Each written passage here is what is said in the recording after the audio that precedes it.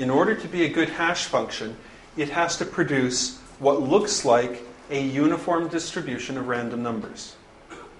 If there's any non uniformity in the hash function's output, the performance of this starts to degrade dramatically. I have to smooth things out. That means there is no ordering of keys.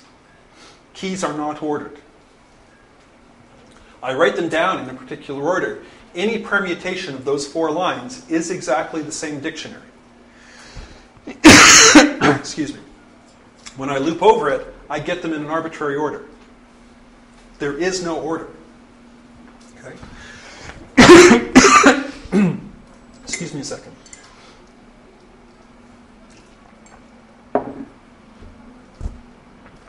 I'll give the rest of today's talk in American Sign Language. and, and then we'll do charades, right? Three words. Sounds like a play. Excuse me. Let me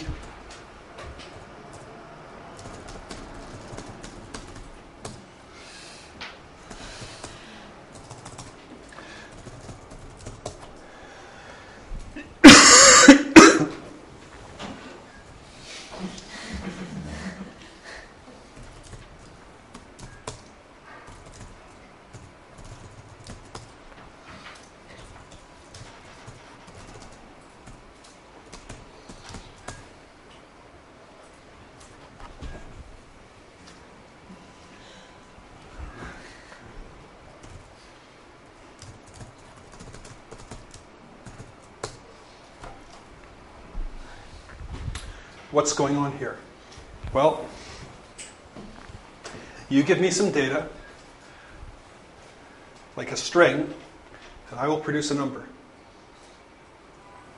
If it's a good hash function, you will believe that that is producing numbers that are uniformly distributed all across the range of what I can represent in 32 bits. Okay? If you can see any deviation from a uniform distribution of that hash function, it's a bad hash function. because any non-uniformity will lead to hotspots. More items will be going here than over there. Performance drops. People have tuned these. They've worked really hard to make these good and fast. And unfortunately, there's a trade-off. It can be good but not fast, or it can be fast but not good. Okay? So don't write this yourself serious. You probably cannot beat the ones that are built into Java and Python and Ruby. I mean, entire theses have been written on good hash functions. One of the reasons for this is that hash functions are also used in cryptography. And there it's really, really important that their output look uniform. Because if any signal survives into the output, it's a way to attack the code.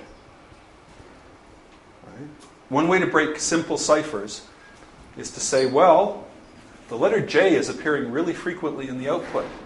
J is probably how they represent the letter E because the letter E is the most common letter in English. Right? So simple substitution and permutation ciphers, trivial to break. You just look at the distribution of letters in the output, look at the distribution of letters in your language, match them up, and you're done. Okay?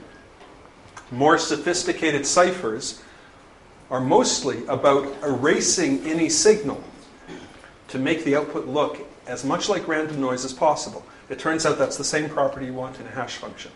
So yeah, really smart mathematicians have spent a lot of time looking at this because you know nuclear security and the entire banking system these days depend on good hash functions. And no, I'm not exaggerating. Well, okay, a little bit. Okay? So I can hash the number one. I can hash a string. When I try to hash a list, it blows up. Why? Because a list can be changed in place. One of the properties you want from a hash function is that once you've calculated it, its value never changes for the thing. Once I've calculated the hash function for Moira, Moira's hash value is always 173. Okay? Well, if Moira can change, in particular, since I can overwrite some or all of the elements in the list, its hash value could change. That's a bad thing. So, you're not allowed to hash data structures like lists that can be changed in place. Strings cannot be modified in place. I cannot overwrite the H in hello and say name equals hello. Name of zero is now M for mellow. It says no. Once you've created a string in Python, that's its value. You can't change the value of the integer 3. The value of the integer 3 is 3. You cannot change a string in Python after you've created it. You can create new ones. We do that all the time. But you cannot modify a string in place. A whole bunch of reasons to do with performance optimization. Lists can be modified in place. We've been doing that. We've been appending values, overwriting values. Okay? If you can change it in place, it is not safe to calculate a hash function, a hash code rather, because as soon as you modify the structure, the hash code you calculated a microsecond ago is wrong, and Python has no way to automatically update it. It can't say, oh, wait a second, you calculated my hash code and you stored it in that variable, then you modified me. I better go over to that variable and change its value. It doesn't work. So in Python, in Python, we've got lists, which we write with square brackets, and tuples that we write with parentheses. A tuple is just a list that can't be changed after it's created. It's a constant list. Once you've created it, you can read its values, but you can't modify them, you can't extend it. That's what it is. Which means it is safe to calculate its hash code. Because once it's been calculated, it stays the same forever. Okay? Think of hash codes as being like, uh, in Canada, they're called social insurance numbers. I don't know what they're called here.